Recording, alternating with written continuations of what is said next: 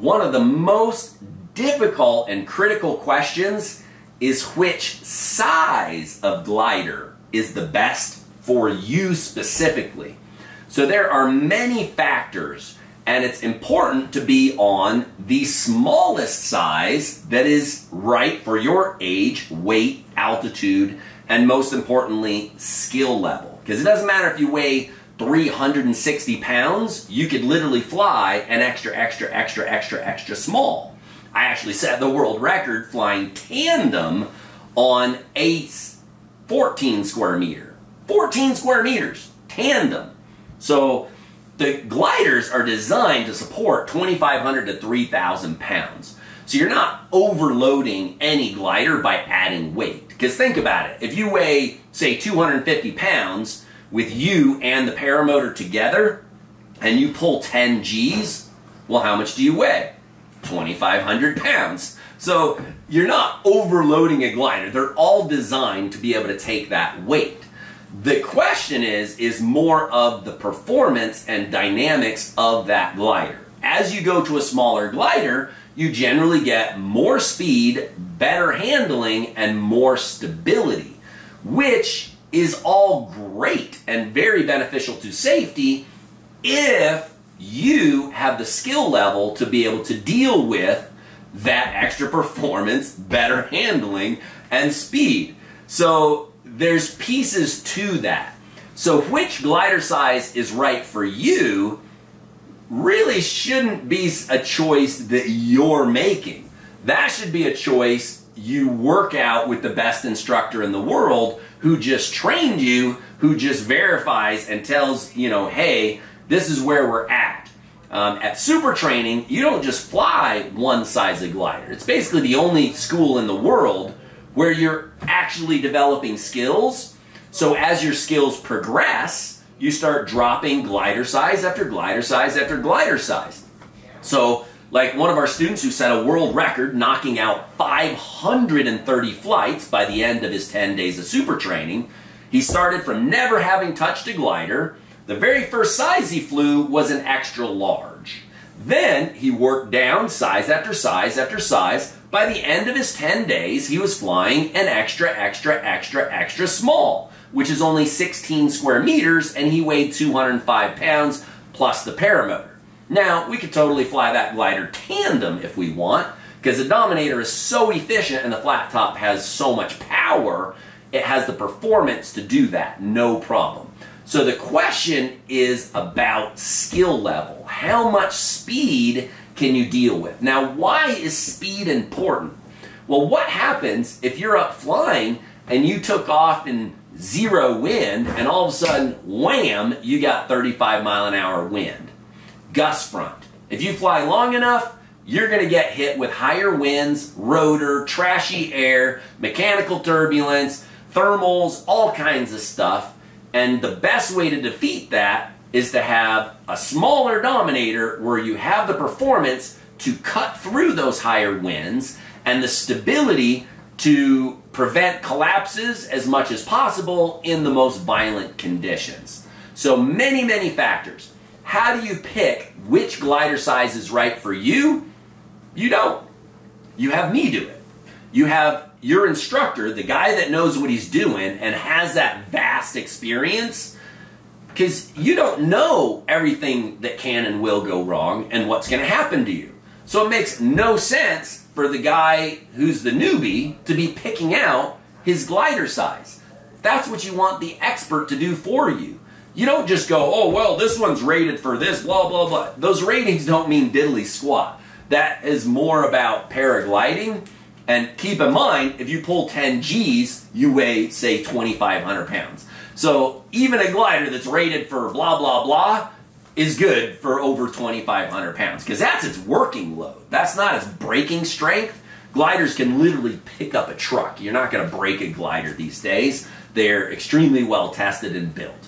So picking out the right size glider is what you want to do with the best instructor in the world who has that experience to know exactly what's going to happen to you and how to best stack the odds in your favor.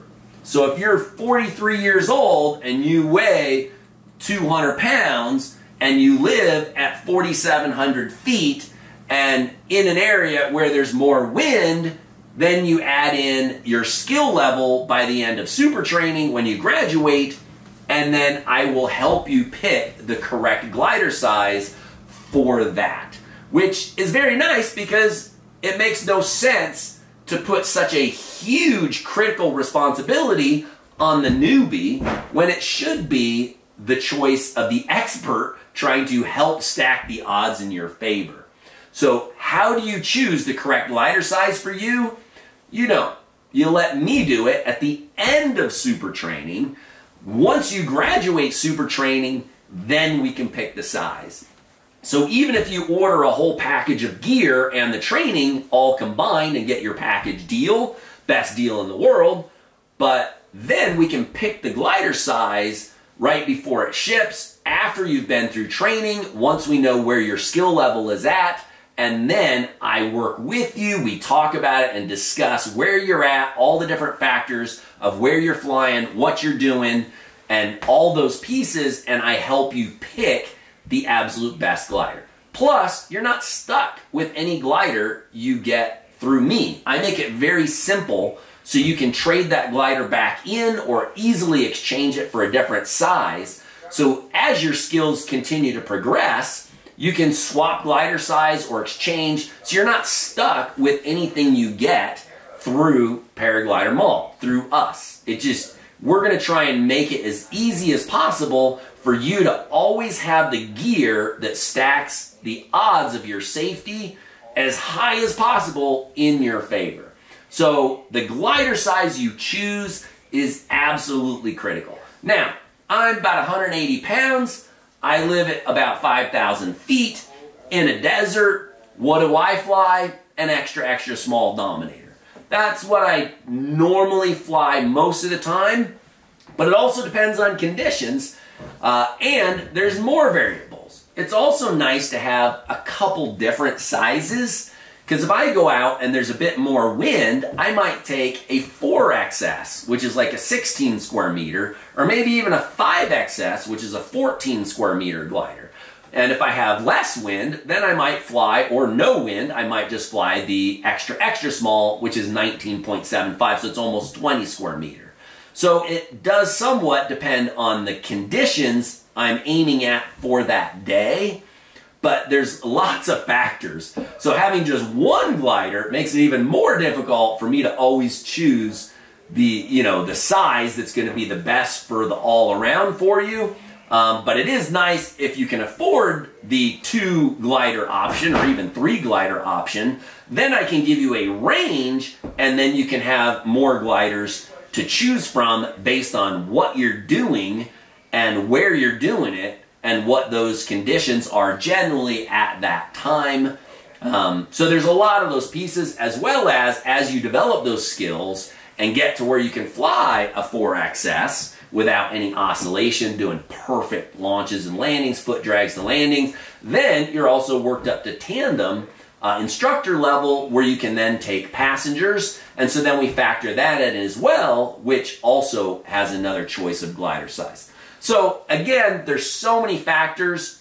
You make it very, very simple. You come take super training and you let the most experienced, the guy that has the skills, who's been through everything, pick the glider and size specifically for you at the end of training so that we stack the odds in your favor. That's the smartest way to do it. Not have Joe Jimmy Bob newbie trying to figure out what glider he wants. It's not how it works. You want what glider I recommend for you because then you have all of my experience working in your favor and I didn't even charge you for it. All that advice is free. You call me up, we talk about glider size, you buy a glider through me, and that hour or so I spent talking to you, I charge you nothing. I'm just sharing my vast experience to help stack the odds of your safety in your favor. That's a smart way to do it. It's the right way to do it. Let's go flying and be smart doing it.